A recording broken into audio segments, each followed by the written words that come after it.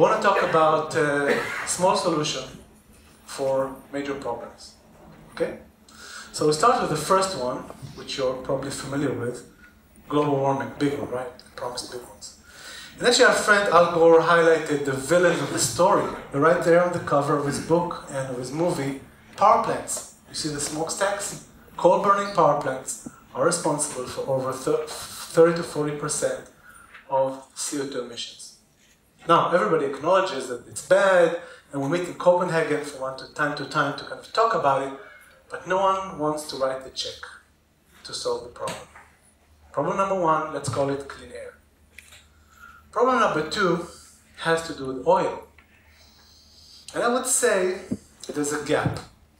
There's a gap between countries that own oil to the countries that use oil. What the first group has in common is that democracy is not one of their strongest sides. Okay? Uh, I have a friend, Gal Luft, who wrote a book. He named his book Making Oil a Salt. And the idea was, once upon a time, salt was a strategic asset. Because this was the only way that you could preserve meat. The expression salt of the earth, the word in English salary, comes from salt. People were paid in salt. Salt was strategic. And all of a sudden, technology came, refrigeration, and we find other ways to preserve our food. So salt is great, but salt is not longer a strategic asset. Now let's get back to fuel and think about it for a minute. So let's call problem number two renewable energy. Problem number three is something that most of you are probably less familiar with. It has to do with sustainability of feed and food. And I will uh, give the example of the aquaculture industry just to illustrate this, uh, this problem. About half of the fish in the world are cultured in big pens in the oceans. So if you grow fish, you need to feed them. So what do you feed fish with? Small fish. Sounds like a great idea, but the problem, actually there's two problems. Problem number one is, and you can ask the fishermen right uh, around the corner here, the humankind has killed all the little fish. There was an article in the Time magazine not long ago, the title was Oceans of Nothing. We just killed all the little fish in order to feed the big fish. So if you have an anchovy, don't put it in your pizza, put it in your safe and lock it, because this thing is going to be valuable. Okay, go on. The second problem of feeding big fish with small fish is small fish have a lot of mercury and PCBs and heavy metals and drugs and everything that floats in the ocean. So guess what's happening to the big fish when they eat the small fish? Not a nice idea to think about. Now, the reason you use the small fish to feed the big fish is because there's one essential thing that we can only get from, from the little fish, which is omega-3s. It's the same reason that we sometimes use food supplements as omega-3s, right? How many of you use omega-3s here? Lovely. You know where your omega-3 comes from? The same fish oil that I mentioned a second ago. Ladies and gentlemen, eating omega-3s from fish oil is like drinking water that was purified from sewage. Maybe pure, but yucky to think about it. okay, so food sustainability is a big issue. That's problem number three. So I promised big problems. Here they are, all three of them. The second thing I promised is a small solution. Very small one. I want to show you the solution.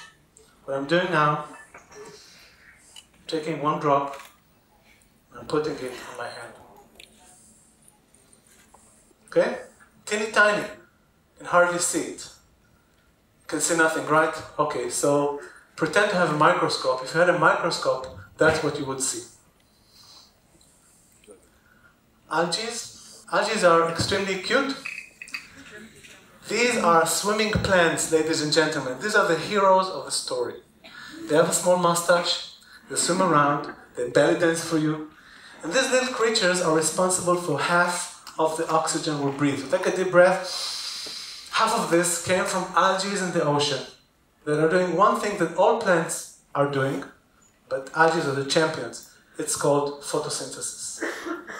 Okay, so these little creatures double their mass every couple of hours. Imagine your tree in the backyard doubling its mass every couple of hours. Crazy to think about, right? That's what they do. So the beauty, one of the beauties of algae is they do not use fertile land, they do not need fresh water, and they grow like crazy. When you put them into CO2 environment, they're happy. You think it's poison or greenhouse gases, all the names we humans attach to CO2, they think it's gourmet food. They're happy. Okay, give me some more. Because actually half of their body weight is carbon coming from eating the CO2. So you remember problem number one, right? Here is a natural platform to deal with CO2 emissions. Now let's consider the alternatives. The alternative is a technology that has an interesting name. It's called sequestration, but a very stupid application. What sequestration means is we're going to take the gases coming out of the smokestacks of power plants, like Hadera, okay? And we're going to separate the CO2 out. We're going to get pure stream of CO2 out of it. This is an energy intensive and expensive process, but nevertheless, okay, now I have a pure stream of CO2.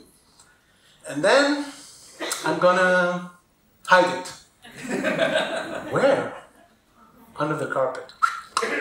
Okay? I'm going to hide the CO2 in geological reservoirs somewhere. I'm going to make it disappear.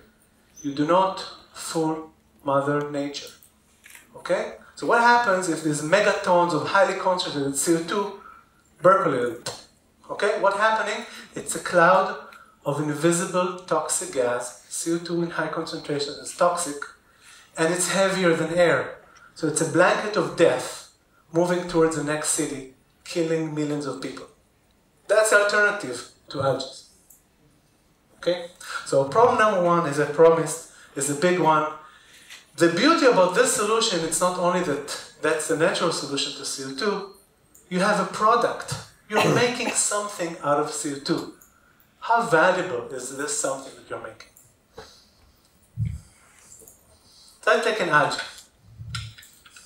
That's an algae for you. Okay? And I'm going to separate it to compounds. I'm going to take the oil separately and the protein meal separately. Now I have two products. One is oil, algae oil, and one is a protein meal. Let's talk about this one first.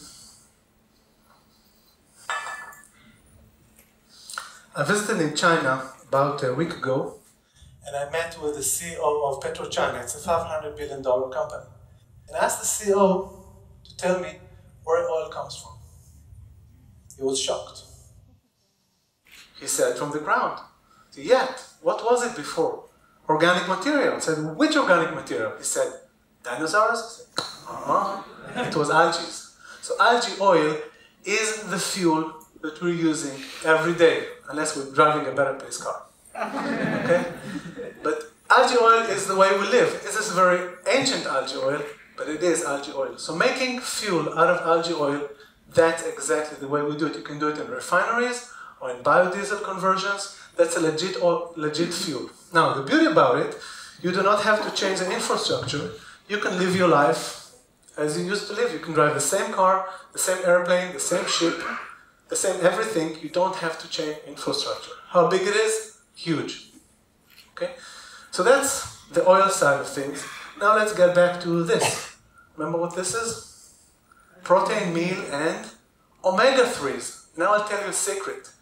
The reason that little fish have omega 3s in them is not because they produce omega 3s. Fish do not produce them. Fish accumulate them from eating oh. algae. You got it. Okay, great. Okay. okay, so algae are the source of omega 3 on this planet. So skip the middleman. Feed fish with algae, right? So the only problem with this narrative is the fact that it's too good to be true, right? Why wasn't it done before, Isaac? If everything is so lovely, that's a natural way, if you have a product, why wasn't it done before? Two reasons, okay? It was never done before. this was the first one. Now, you have to tell an Israeli it was never done before, now you got his attention. Talking to me? we don't take no for an answer this time. That's how we do it. So at the time I was an MIT scientist. I had a, the first system in the world to convert CO2 from a power plant into biofuels and feed. And I realized I had to put the technology in a real framework, in a real power plant, So I wore my, my tie, and I jumped on a plane, and I landed, in Phoenix, Arizona, drove another two hours to the middle of the desert. There's a power plant. And a meeting with a power, plant manager, of course, with short pants and short sleeves. And I'm with my suit and my tie and a weird accent coming from MIT. And I'm telling him about, you know, the CO2 that's going to feed these algae make all these products and fuel. And I said, what, what, what? That's biology, right? I said, yes. We don't do it here. And I have a meeting in two minutes, I'm sorry. And just walks away.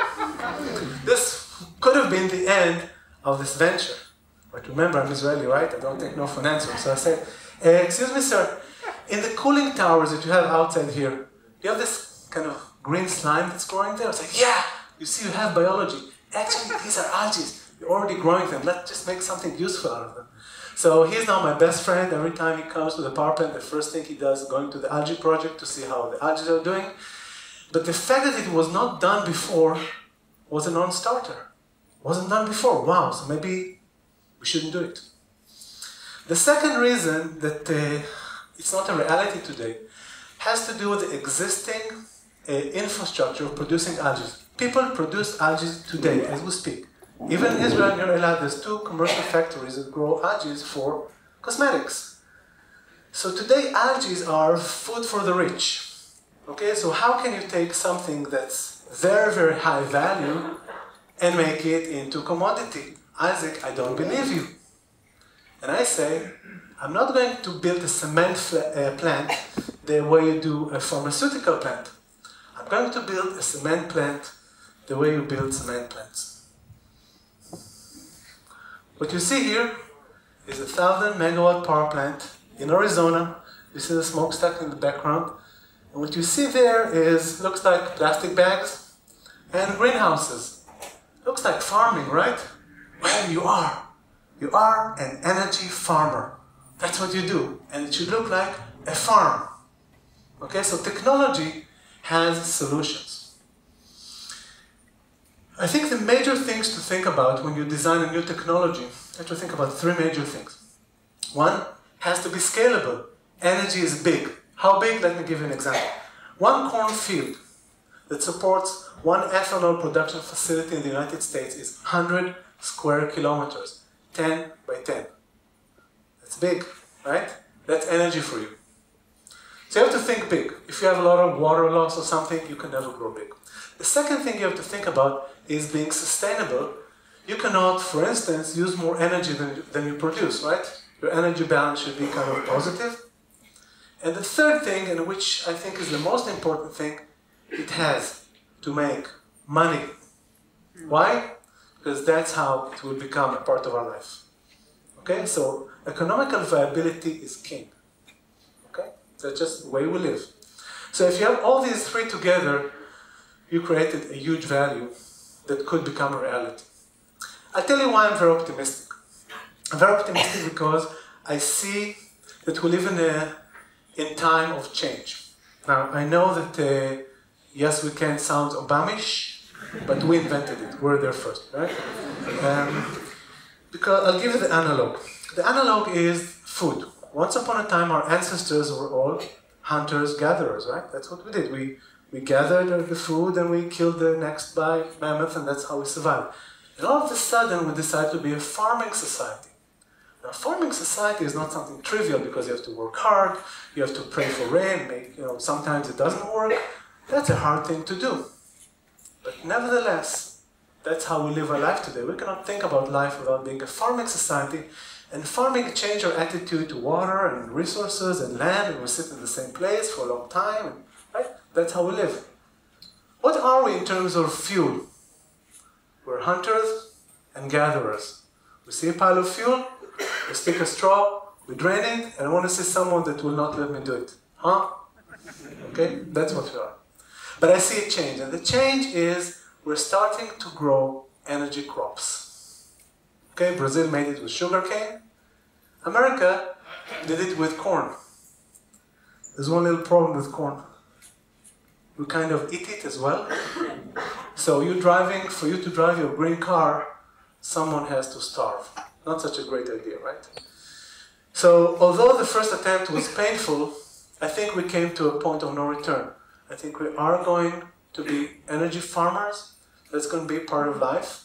And hopefully, when my children will fill their car with gasoline, they're going to ask, where was it cultured? Okay? Just part of life. So I'm, i think we're very fortunate in doing this, and it also reminds me of uh, you know, the meeting between Moses and God. Remember the first time Moses met God, God had to make a very good impression. Because God, God was about to ask Moses something very hard, like take the people of, of, of Israel out of Egypt. That's a hard thing to do. And uh, especially, you know, he had a great life. Why bother doing it? So God wanted to make a very good impression. And he's God, remember? So he can do anything. He can do a flying elephant, he can do what? He can do anything. God decided to appear as a burning bush. Now, you remember what was surprising? The bush was burning and not consumed. What's burning and not consumed? Renewable energy, right? Renewable energy, right? So what's the divine message here? Don't do corn ethanol.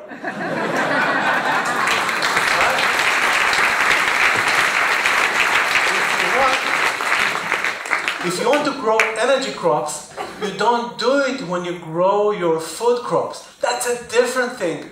You do it in the desert. And that's when Israel shines.